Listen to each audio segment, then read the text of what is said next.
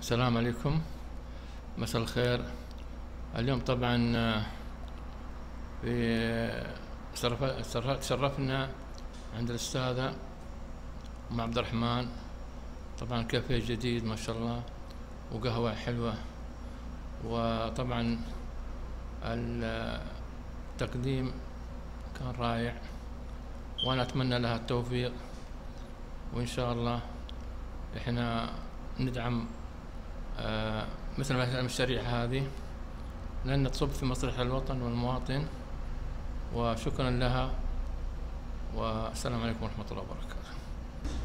السلام عليكم ورحمة الله وبركاته. معكم دكتور إبراهيم أصلان. النهاردة إحنا بنزور كافيه كافة صاحبته سيدة الأعمال الأستاذة هناء آه، آه، هناء التميمي.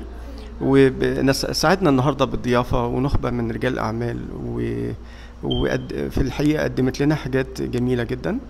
ودايما ندعوكم لزيارة هذا المكان الرائع.